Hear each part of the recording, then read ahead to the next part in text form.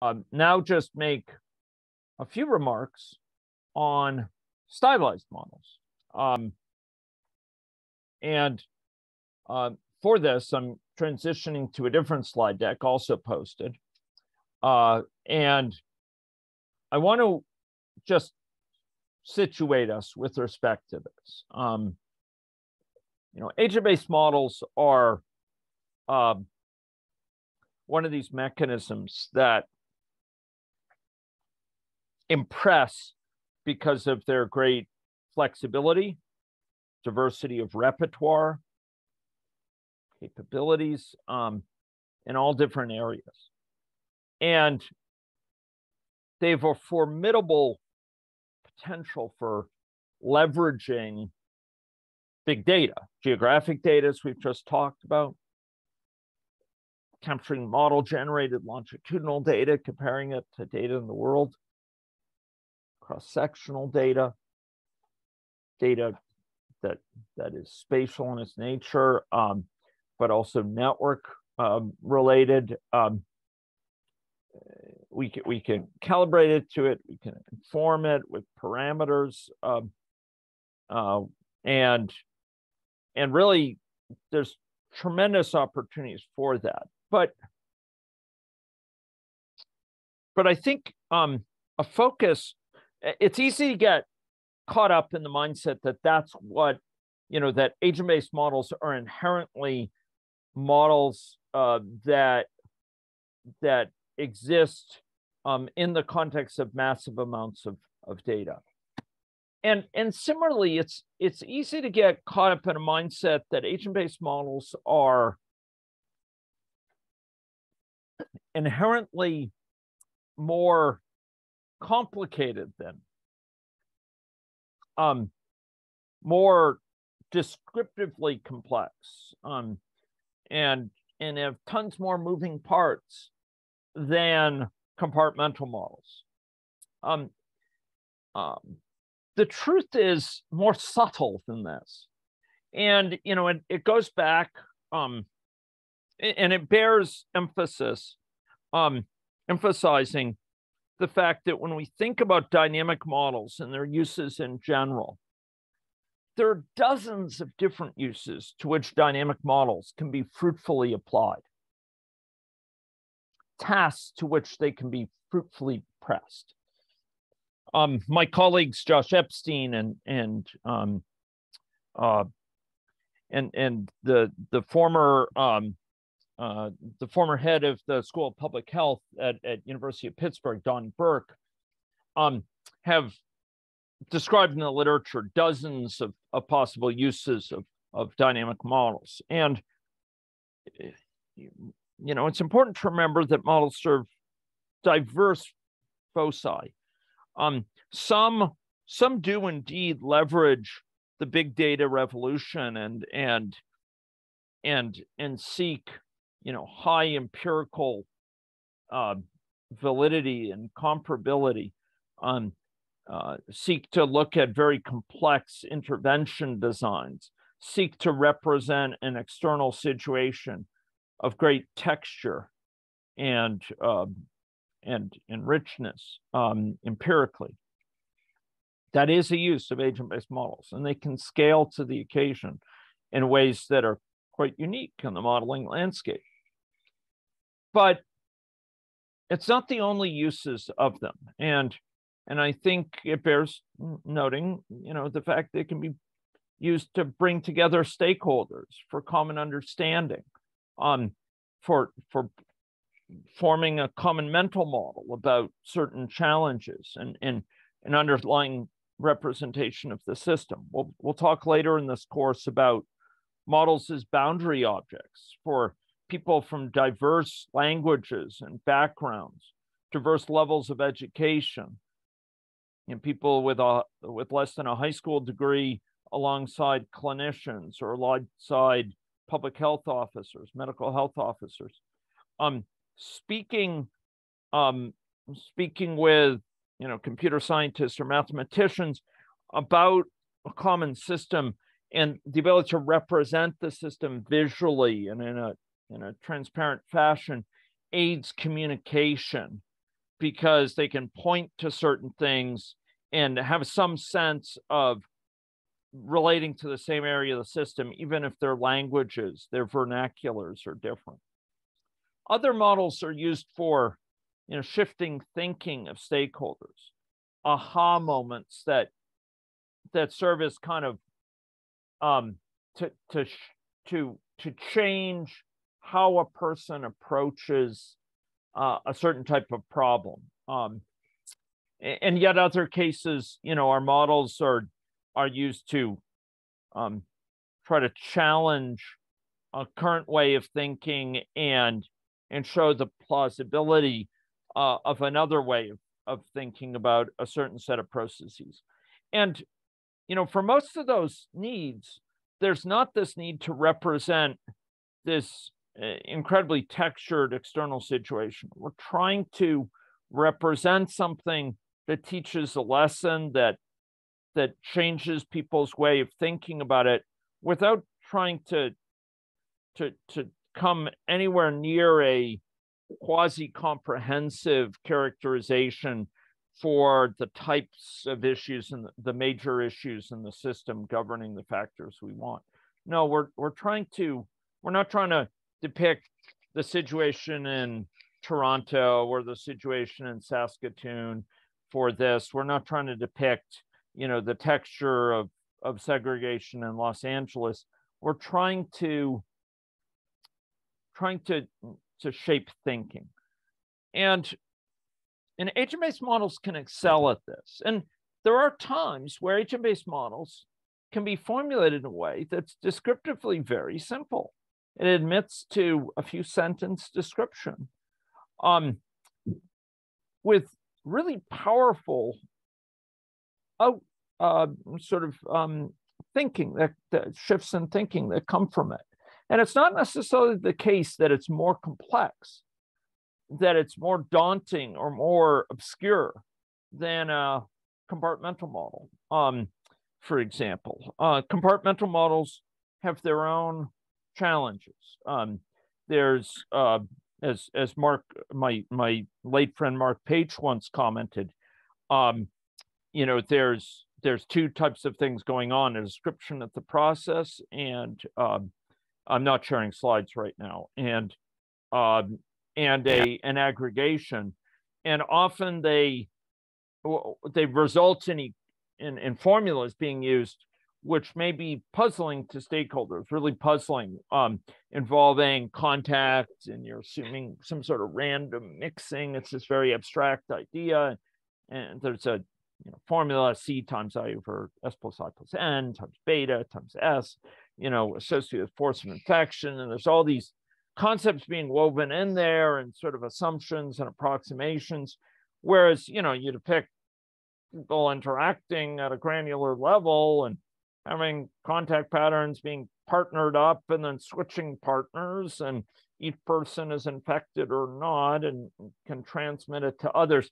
There's something that's familiar and and perhaps um, um, concrete enough to relate to the experience of, of people who might otherwise be thrown off by a high level more abstract description.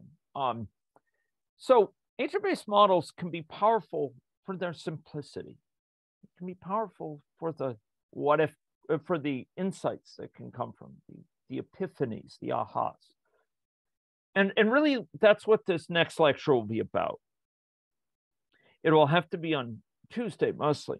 but We're going to be going through stylized models. And like with GIS models, some of those we've seen, but some we won't have. Um, for example, I'll be talking about a model of trust um, uh, and, and dynamics of of trust um, uh, captured in a in a model.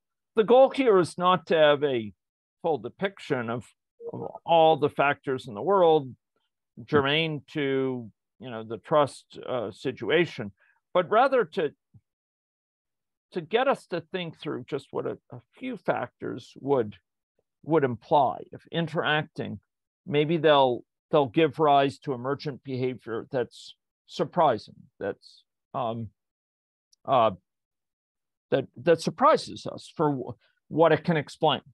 So we're going to be talking about this theory explication or articulation spectrum, um, where we have models that seek to take existing theory and explicate it, um, sort of say, what are the implications of this? Okay, if this is a reasonable theory, um, if, if we take that as our starting point, we posit this theory, we postulate it, uh,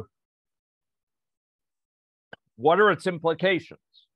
Maybe we try two different theories, but we, we, we have something fairly concrete in a theory, um, maybe a, a reasonably plausible, to use Ana Diez Roux, uh, currently Dean of School of Public Health at Drexel, um, sort of uh, um, her word for it, you know, plausible representation, um, a plausible representation of dominant real world processes.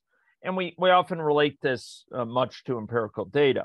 Um, and, you know, many operation employed ABMs, published ABMs for policy and decision making um, live, live over here. But we're going to be talking about these caricature models, these models which are distinguished um, because of their simplicity. Uh, and their goal is sharpening thinking um, about the interaction of, of simple processes. We're not seeking to represent all sorts of texture. We're seeking we're seeking to zero in on just a few things um, and and really think them through and how they interact. Um, and typically we have little empirical data here often but not always we we engage in this because we're engaging in theory building.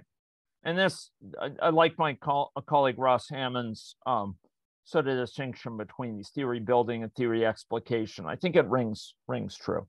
So you'll recall the, the notion of models as thinking tools. From the very first day i i articulated from you uh, for you this idea of models as thinking processes to quote Geoff McDonnell the Sage of Sydney. And you know, these models can help us think through the consequences of of those theories we posit, or of some other other, you know, very simple interaction of, of certain processes.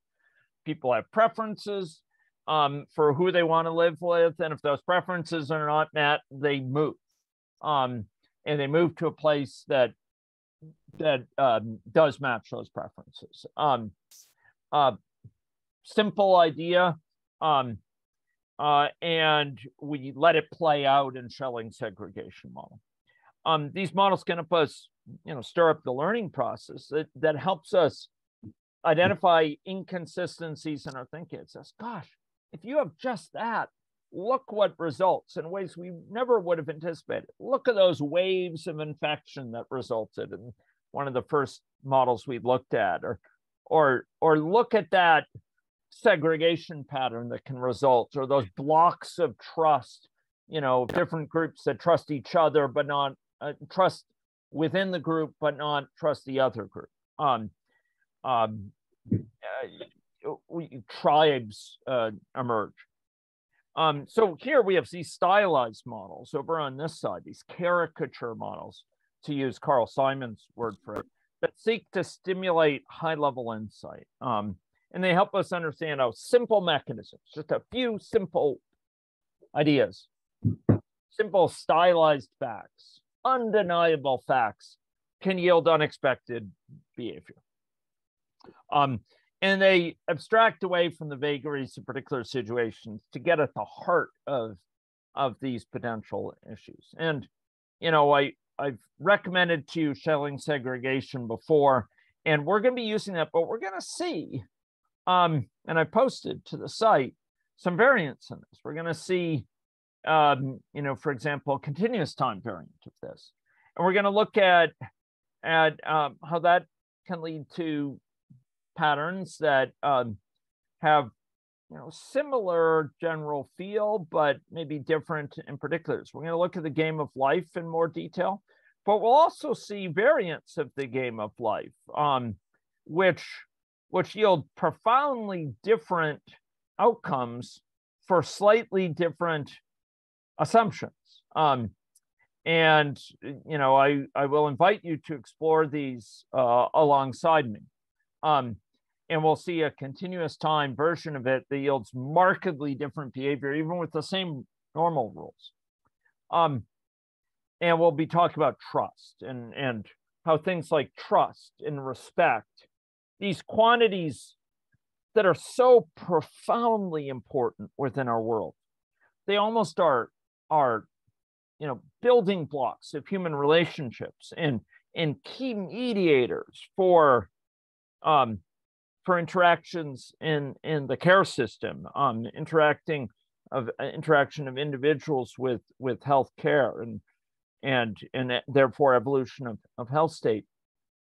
Um, these these quantities, which are hard to, you know, have a really totally tied down theory of, but we can often get great insights by trying out some sort of very rough theories that involve these undeniable truths. So, that, ladies and gentlemen, is the task to which we will press ourselves in our coming lecture. Um, so, anyway, I'm looking forward to joining you for that. Um, and uh, I provided some slides which may get you thinking and a bunch of models, and we'll be uh, be looking at those um, on that day. We might also talk a little bit about trust dynamics and an oral health model, um, which is, is more applied and more textured, but which takes some of the insights from that earlier trust work. Um, one one thing I've, I've realized I've fallen short, a lot of a fair number of these models have papers associated with them. And I I'm gonna see if I can get better about posting links. Like the the trust models are are published. We have, I think, three trust models now, and um, uh, it's an area I want to do a lot more, uh, offer for a lot more investment, um, prioritized for that investment. Anyway, that's all for today. Uh, thank you for bearing with my uh, my my weakened condition and my lack of physical appearance uh, in the classroom, but I'm looking forward to, to interacting with you here uh, next time. And I think I will hold office hours uh, here. I'm I'm feeling not not altogether horrible. Yeah, thank you. Um, yeah, the question is the O parties framework a standard reusable framework uh, for a method section in a publication? Um, it's interesting. Uh, the short answer is uh, no. Um, but it in so when it comes to model specifications.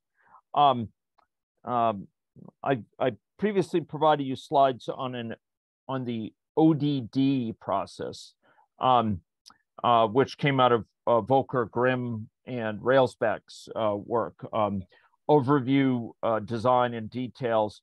And then there's a variant of it, which I think, Michael, you posted a link to a, um, an extension of it.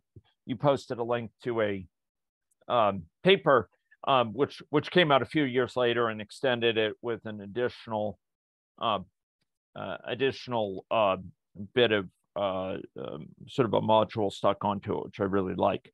Um, so that's a, a well accepted one. It's used in uh, open ABMs and it's it's been the basis for a lot of description models. Ross Hammond and I each have our own uh, kind of mechanism for thinking about model formulations. Ross has the PARTE framework, um, uh, properties, actions, rules, time horizon, and environment. Um, I uh, I like that, um, but I feel that we really um, benefit for distinguishing instead of just properties we distinguish things that are stat static assumptions uh, or pre-specified assumptions, which I call parameters and state. Um, and uh, I think it's really useful when thinking about the scope of a model to think about outcomes and interventions. Um, and uh, and uh, you know, there's uh, uh, there's therefore some um, elaboration of it that uh, I put into place with the parties framework. But in, in many ways, I build on the PARTE framework. I don't know. Parte may be published now. Um, Ross has certainly taught uh, taught it in a number of of events, uh, just as I've taught parties, and and he might have he might have published with it. But to the best of my knowledge, um, we don't have a a published description of it um, uh, yet, and we we really should. One of those things interrupted by the pandemic. Anyway, uh, I would like to to contribute something like that. Hope that's useful. Yeah. Um. Okay. Yeah. Okay. Um. I think I'll stop recording.